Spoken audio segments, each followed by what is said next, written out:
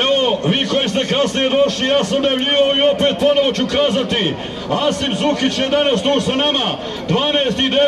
21. Njegovo radno mjesto Bakići, glavnu udonu borbu vodići struje Asima Zukića i Roni Mumina Pezića. Dolaze i Bikovi, Kuka Nive Ilića, Zekor i Zamira Đulović. Zove se Cvićo. Sa druge strane, Soko, Amira, Emira i Hajri. To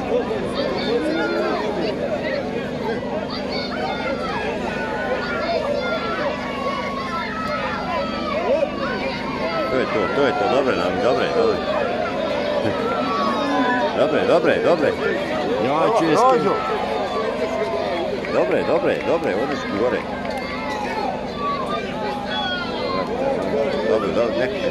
Podbacimo ovdje nešto.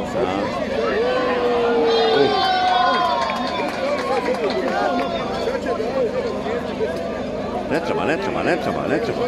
Ne treba nam. Ma ovo. Jel ovo?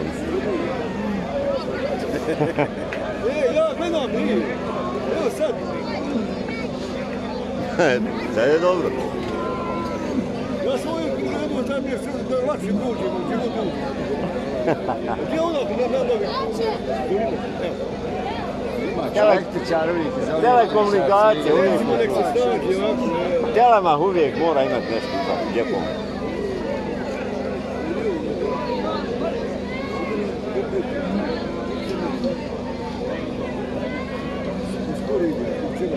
Koji? BH Tele... Pređi na Telemah, i riješe problema.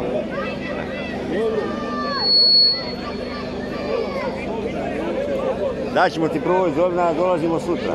Ne da je sutra. Evo, dobivam signal Kadrići, glavni sudija Karlo Stjepić, Dajo Selimović sa svojim cvićom, pozdravimo jednim aplausom publiku, Dajo Selimovića, S jednom rukom ima bika, vidi ono. hrabrog momka, vidite kako on to, Jedne ruke. Tako ima Dajo, ima Dajo potporu, također.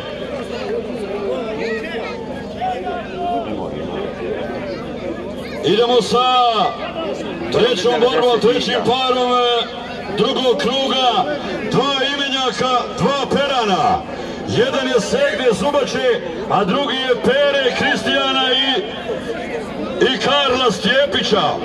Daju, sretno daju.